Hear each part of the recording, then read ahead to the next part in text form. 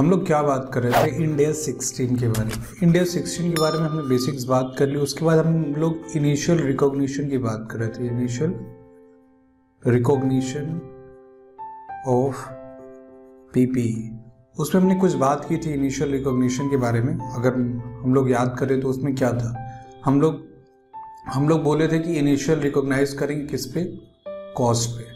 Initial recognition हमारा होगा cost पे। अब कॉस्ट पे कैसे रिकॉग्नाइज होगा, उसमें क्या होगा ऐड क्या होगा लेस जैसे कि परचेज प्राइस से हम लोग डिस्काउंट माइनस करते थे, हम लोग रिबेट माइनस करते थे purchase price less discount less rebate उसमें क्या करते थे जीएसटी ऐड करते थे, जिसका क्रेडिट अवेलेबल नहीं था इम्पोर्ट ड्यूटी ऐड करते थे उसमें, ठीक है, जिसको रिफंड नहीं करना है, और उसमें से हम लोग कोई भी इनकम माइनस कर देते थे लेस एनी इनकम जो भी उसमें कंस्ट्रक्शन के दौरान हमें पाई गई। तो इनिशियल रिकॉग्निशन किसके, किस बारे में था? जब हम कंस्ट्रक्ट और एक्वायर करते थे, ये क्या था? कंस्ट्रक्शन करते वक्त और एक्वायर करते वक्त, जब हम कोई चीज़ खरीदते थे। तो परचेज से discount less rebate GST import और ये सब करते तो इसमें एक और चीज़ था। L C I M I hope आपको याद हो। एल क्या था?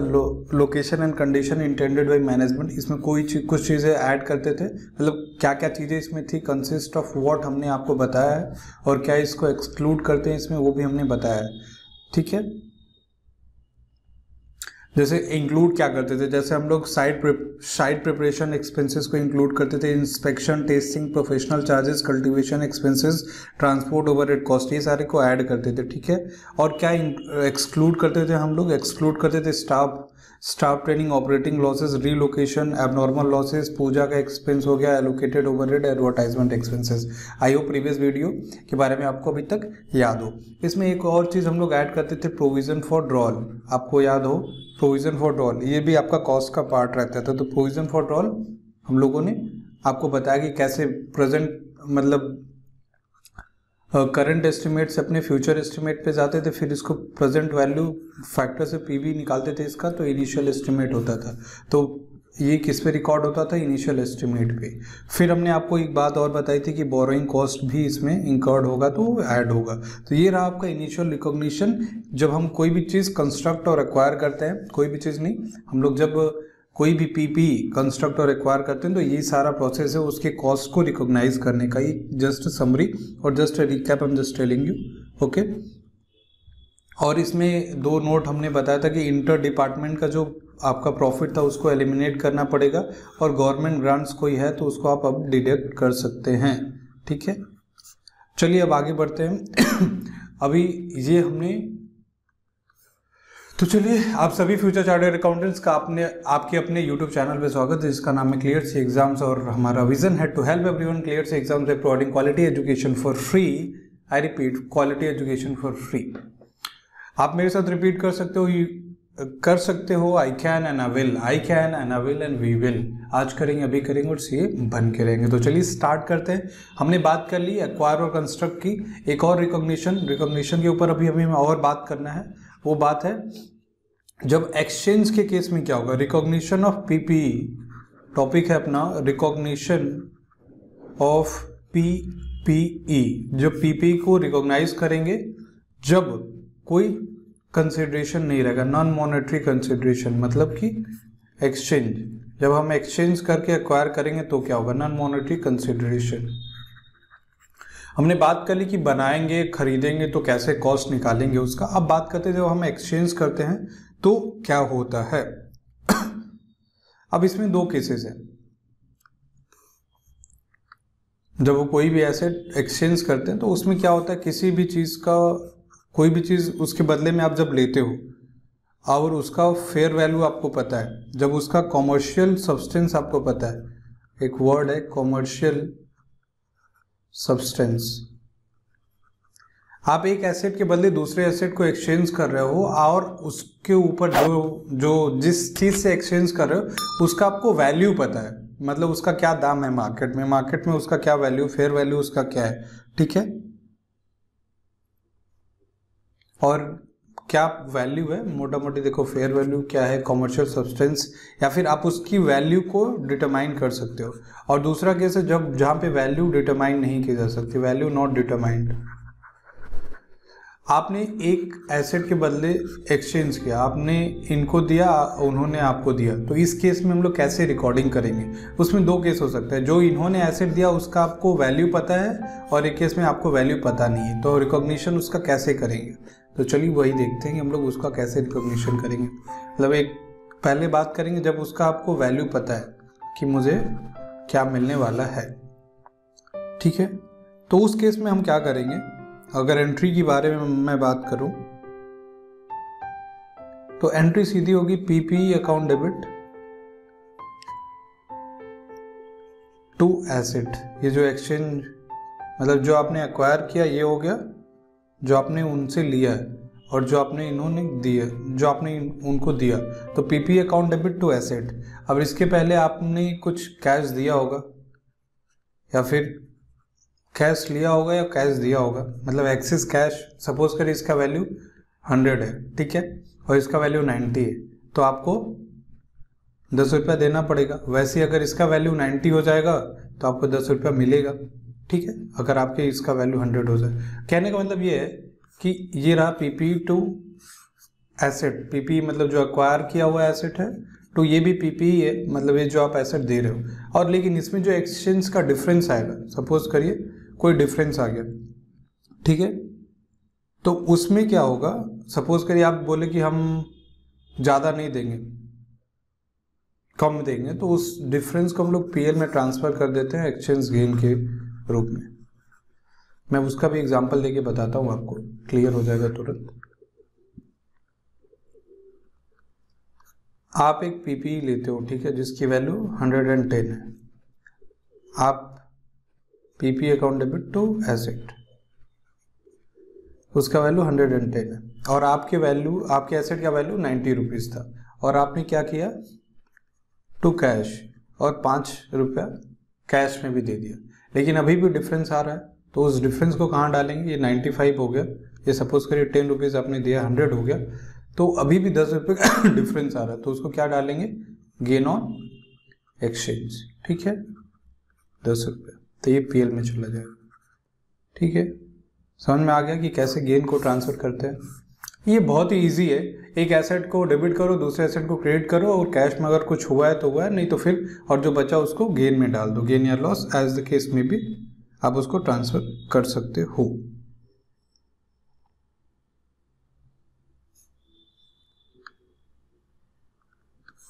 बहुत इजी है ये। चलिए अब आगे बढ़ते हैं। दूसरा, जहाँ पे कोई कॉमर्शियल सब्सटेंस नहीं हो। कॉमर्शियल सब्सटेंस का क्या मतलब होता है? पहले ये समझ लीजिए। कॉमर्शियल सब्सटेंस मतलब आपके कैश फ्लो पे कोई इफ़ेक्ट हो रहा है। कैश फ्लो जो आपका है कॉमर्शियल सब्सटेंस मतलब कैश आप कुछ ले रहे हो उनसे या फिर कुछ दे रहे हो तो वो हो गया कॉमर्शियल सब्सटेंस जब जिस केस में नो कॉमर्शियल सब्सटेंस रहेगा मतलब आपको पता नहीं आपको ना कुछ दे रहे हो, ना कुछ ले रहे हो। बस एसेट एक एसेट दे दे रहे हो, एक एसेट ले रहे हो, लेकिन कैश फ्लो पे कोई इम्पैक्ट नहीं आ रहा। ठीक है? तो उस केस में क्या होगा? उस केस में सिंपली आपको क्या करना है? PP account debit to asset ये आपका जो न्यू एसेट है टू ओल्ड एसेट ये जो आपने दिया और ये जो आपने लिया, ये हो गया आपका एक्सचेंज का केस ठीक है?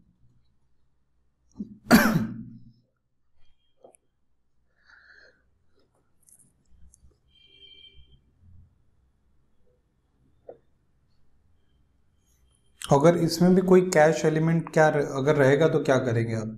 इसमें अगर कोई कैश एलिमेंट रहा ऑल तो रहेगा नहीं तो ये पीपी टू कैश हो जाएगा, ठीक है?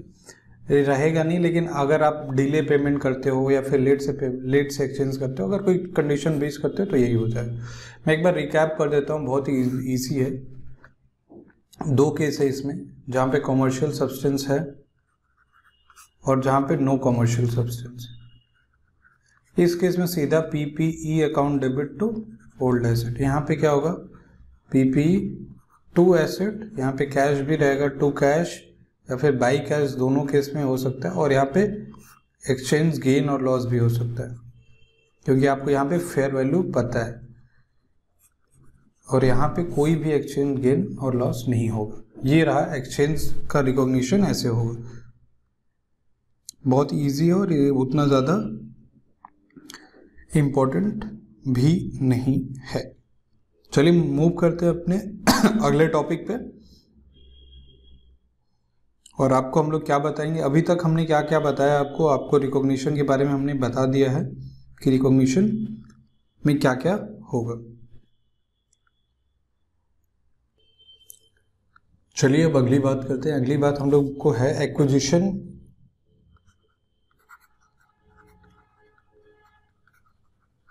of PPE on deferred credit basis on deferred credit basis अब डिफर्ड क्रेडिट बेसिस क्या होता है? एक्विजिशन ऑफ़ पीपी तो आपको पता ही है कि एक्विजिशन ऑफ़ पीपी का क्या मतलब है, लेकिन ये डिफर्ड क्रेडिट बेसिस का क्या मतलब है? हाँ। डिफर्ड मतलब डिले क्रेडिट बेसिस मतलब जब क्रेडिट पे कोई प्रोडक्ट खरीदा जाता है मतलब कि वेंडर से जब कोई प्रोडक्ट आपने खरीदा है सपोज़ करिए नॉर्मली आप जब वो वेंडर से खरीदते तो उसका क्रेडिट पीरियड रहता है दो महीने। लेकिन डिफर्ड मतलब अब जब वेंडर से कोई भी प्रोडक्ट खरीदे और उसका क्रेडिट पीरियड हो गया दो महीने से ज़्यादा सपोज़ करिए दो साल में आपको पेमेंट करना, कोई भी आपने एसेट खरीदा है। सपोज़ करिए कोई इन्वेस्टमेंट प्रॉपर्टी है आपने खरीदी है और बोला वेंडर को, भाई हम आने वाले तीन साल में आपका पेमेंट करेंगे. ऑल दो जो आपका नॉर्मल क्रेडिट बेसिस है, वो है नॉर्मली दो महीना मतलब दो महीने में आप वेंडर को पेमेंट कर देते हो। I repeat acquisition of P PPE on default credit basis इसका मतलब क्या हुआ? हम कोई भी एसेट जब अक्वायर करते हैं पीपीई जब अक्वायर करते हैं तो उसमें हम ये देखते हैं कि जो नॉर्मल वेंडर से जब नॉर्मली हम कोई सामान खरीदते हैं वेंडर से तो क्या उसका क्रेडिट पीरियड रहता है? अगर उससे ज़्यादा है तो उसको बोलते हैं डिफ़ॉल्ट क्रेडिट बेसिस सपोज़ करिए, एक एग्ज़ाम्पल से हम इस चीज़ को समझाते हैं और उसको कैसे सॉल्व किया जाएगा बताते हैं, ठीक है? फॉर एग्ज़ाम्पल चलिए एग्ज़ाम्पल पे ध्यान देते हैं.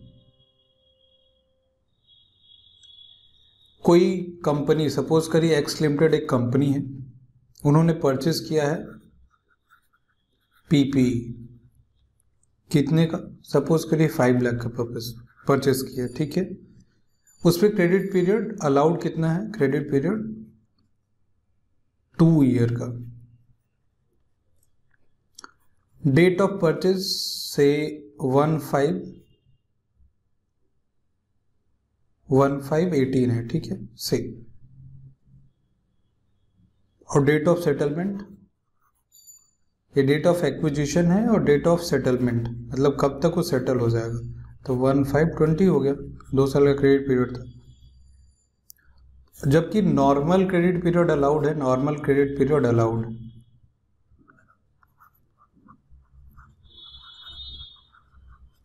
two month समझ में आ रहा है? परचेज प्राइस चार लाख चालीस हज़ार। चार लाख चालीस हज़ार परचेज प्राइस मतलब इस पर खरीदेंगे और जब क्रेडिट पीरियड मिला के देखा जाएगा तो पाँच लाख पाँच मतलब फाइव लाख का हो जाएगा। परचेज जो हम लोग पीपीई करते हैं मतलब दो साल का क्रेडिट पीरियड पे जब आप खरीदोगे तो उसमें क्या लगेगा? इंटरेस्ट लगता है। दो साल का अगर आज खरीदेंगे तो उसका प्राइस है चार लाख चालीस हज़ार, लेकिन अगर आप उसको डिफर्ड करके पेमेंट करते हैं तो पाँच लाख रुपया पूरा पेमेंट करना है। तो ये कहानी है। आज का डेट में चार चालीस फ्यूचर में पाँच पचास। तो हमने वही कहा कि जो डिफर्ड क्रेडिट बेसिस पे होगा तो उस केस में हम लोग कैसे रिकॉर्डिंग करेंगे? तो इसकी दो बेसिकली एंट्री होती है। एक पीपी टू वेंडर और एक होता है फाइनेंस कॉस्ट टू वेंडर अब इसमें फाइनेंस कॉस्ट क्या है? चार चालीस से जो लेके पाँच लाख तक गया है this is what the finance cost sixty thousand इसको निकालने का तरीका है पूरा अलग अलग और ये चार चालीस पे आएगा। समझो, फिर vendor account debit to bank हो जाएगा, चार चालीस। ठीक है? वैसे ही vendor account debit to finance cost am sorry to bank हो जाएगा सिक्सटी के सिक्सटी के ठीक है? अब ये निकाला जाता है आईआरआर बेसिस पे। ठीक है? आई आर आर बेसिस पे मतलब कि जो आपका चार चालीस को पाँच लाख पहुँचाने में कितना percent interest rate of return मतलब क्या रेट पे? सिक्स इस केस में क्या है? अगर आप निकालोगे आई आर आर इसका तो अभी आई आर आर निकालने में तो बहुत टाइम लगेगा। मैं बता देता हूँ, निकाला हुआ है। Six point six six percent आएगा चार चालीस से जब आप पाँच लाख जाओगे दो साल के अंदर, ठीक है टू ईयर में फोर फोर्टी से फाइव लाख तक जाने में मतलब ये माना जाएगा कि आप सिक्स पॉइंट सिक्स ज़ीरो के इंटरेस्ट रेट से पैसा दे रहे हो। तो समझ रहे हो? तो टोटल वो होगा। कहने का मतलब ये है कि आप जो इनिशियल रिकॉर्डिंग है वो इस पर करेंगे और फाइनेंस कॉस्ट को अलग से रिकॉर्ड करेंगे। और रिकॉर्डिंग करने का तरीका क्या है? हर साल इंटरेस्ट रेट ऑफ़ रिटर्न से आप इंटरेस्ट निकालोगे और उसको चार्ज करोगे। जब क्वेश्चन आएगा तो इसको डिटेल में देखा जाएगा अपने कहने का मतलब सिर्फ़ इतना है कि जब आप नॉर्मल क्रेडिट पीरियड से जब ज़्यादा दिनों में चीज़ों को खरीदते हैं मतलब मतलब आप इंटरेस्ट पे कर रहे हो बेसिकली ज़्यादा तो उस इंटरेस्ट को अपने फाइनेंस कॉस्ट मानेंगे, ना कि पीपी में पीपी में डालेंगे। पीपी में सिर्फ़ उसका जो परचेज प्राइस है वही जाएगा और फाइनेंस कॉस्ट वो अलग रहेगा। आप समझ रहे हो? उसको कैपिटलाइज नहीं करेंगे हम लोग, उसको फाइनेंस कॉस्ट की तरह दिखाएँगे और इसको कैपिटलाइज करेंगे जो कॉस्ट ऑफ़ पीपी है as on the date normal credit period के दौरान जो रहता है। समझ लो नहीं तो फाइनेंस कॉस्ट से आप अपने कॉस्ट को बढ़ा लोगे। तो ये दो कहानी, दो टॉपिक जो हमने आपको बताया एक बार फिर से मैं रिकैप कर देता हूँ। एक तो एक्विजिशन हमने किया था और रिकॉग्निशन बोल लीजिए। Recognition of PPE on exchange basis ठीक है? तो उसमें हमने आपको बताया भाई एक तो PPP PPE account debit to cash I'm sorry to old asset ये new asset account debit to old asset हो जाएगा और जो भी डिफरेंस रहेगा, जैसे यहाँ पे अगर कुछ पेमेंट किया तो टू कैश और बाई कैश कोई डिफरेंस रहेगा तो पीएल में चला जाएगा एक्सचेंज का डिफरेंस और अगर ये है, जब उसका वैल्यू आपको पता हो कॉमर्शियल सब्सटेंस जब हो कैश फ्लो हिट होता हो, अगर नहीं है तो पीपी टू एसेट सिंपली कर देंगे, क्योंकि इसका ओल्ड वैल्यू जो है, वही मान लेंगे, इसका सिंपली। हमारे बुक में जो है, वही उसका भी मान लेंगे। दोनों एकदम आराम से सेट ऑफ़ हो जाएगा। कोई टेंशन नहीं। अगर इसमें कोई कॉमर्शियल सब्सटेंस हमें पता नहीं है तो। लेकिन जनरली आपको ये दिया रहेगा, ये देख क्यों आपको दिमाग खराब करेगा? तो ये रहेगा बेसिकली आपके पास। तो ये हमने बात की भाई कि जो भी गेन और लॉस होगा, उसको हम लोग ट्रांसफ़र कर देते हैं पीएल में। दूसरा आपने बात की, जो कि अभी हमने बात किया डेफर्ड क्रेडिट बेसिस पे जब हम कोई भी प्रोडक्ट खरीदते हैं, कोई भी पीपीई खरीदते हैं डेफर्ड क्रेडिट बेसिस पे तो उस केस में हम क्या करते हैं कि जब डेफर्ड क्रेडिट बेसिस में अपनी फाइनेंस कॉस्ट को अलग करते हैं और पीपीई के कॉस्ट को अलग कर देते हैं। मतलब कैपिटलाइजेशन सिर्फ़ पीपीई का होगा फाइनेंस कॉस्ट को कैपिटलाइज नहीं करेंगे this will be your finance cost nothing else finance cost अलग रहेगा। नॉर्मल क्रेडिट पीरियड से जब ज़्यादा होता है तो उसको बोलते हैं डिफर्ड क्रेडिट बेसिस जैसे सपोज़ कि नॉर्मल क्रेडिट क्रेडिट पीरियड दो महीने, आप दस साल में खरीदो, उससे कोई दिक्कत नहीं है, लेकिन जो उस ड्यूरन उस ड्यूरेशन में जो इंटरेस्ट या फिर आप ज़्यादा जो पैसा दे रहे हो, उसको फाइनेंस कॉस्ट माना जाएगा। आप फाइनेंसिंग करके बेसिकली चीज़ों को खरीद रहे हो not you are doing capitalisation आपके पास फंड नहीं है, आप फंड के लिए फंड ले रहे हो, उनसे मतलब डिले पेमेंट कर रहे हो, जबकि कॉस्ट आपकी उतनी है, ठीक है? तो बस ये रहा आज के वीडियो में। आज के नहीं, इस वीडियो में मिलते हैं आपसे अगले वीडियो में। तब तक के लिए आप सभी का तहे दिल से शुक्रिया। ये हमने अभी तक क्या, मैं आपको बता दूँ कि आने वाले वीडियो में हम क्या बात करेंगे। अभी तक हमने क्या पढ़ा, वो आपको पता चल गया होगा कि हमने रिकॉग्निशन के बारे में बात की। एट इनिशियल स्टेज वो हम लोग रिकॉर्ड करते हैं कॉस्ट पे, ठीक है? और उसमें हमने बात किया आपसे थोड़ा बहुत एक्सचेंज के बारे में। और फिर एक बात की अभी अपने डिफर्ड क्रेडिट बेसिस के बारे में। ये सारी की सारी बातें रिकॉग्निशन से रिलेटेड है तो रिकॉग्निशन पे अभी भी हम लोग हैं। अब आता है अगला टॉपिक रिकॉग्निशन का ही that is called subsequent recognition मतलब सब्सिक्वेंट रिकॉग्निशन मतलब आज पहला इनिशियल डेट पे तो आपने रिकॉग्नाइज कर लिया। लेकिन फ्यूचर डेट पे अगर कोई रिवैल्यूएशन हुआ, कोई वैल्यू में चेंज हुआ तो उस समय हम लोग कैसे रिकॉग्नाइज करेंगे? हम आने वाले वीडियो में उसी के ऊपर डिटेल में चर्चा करेंगे। चलिए, आपसे मिलते हैं। उसमें भी दो तीन, दो मैथड्स हैं कॉस्ट मैथड रिवेल्यूशन मैथड और जो जो मैथड्स हैं, हम लोग आपसे बात करेंगे आने वाले वीडियो में। क्या हमारा टॉपिक रहेगा? Recognition that will be on subsequent basis मतलब सब्सिक्वेंट रिकॉग्निशन अपने कैसे करेंगे? चलिए, मिलते हैं। ये वीडियो ज़्यादा लंबा नहीं हुआ होगा। base winner ka video that is enough. And we will talk more about this on our next video. Shukriya.